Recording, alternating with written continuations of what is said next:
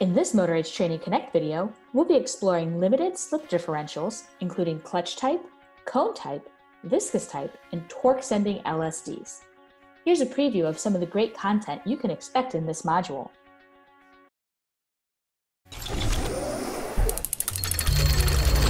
Cone type limited slip differentials operate in a similar manner to clutch plate types. They utilise two conical shaped cones and a matching surface in the differential case.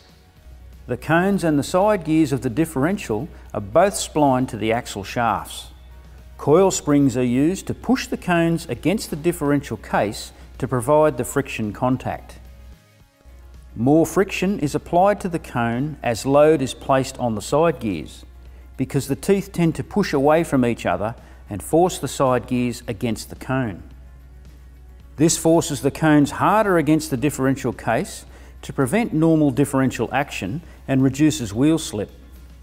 Similar to the clutch type limited slip diff, it requires an amount of force like turning a corner to break this friction so the differential gears can rotate at different speed.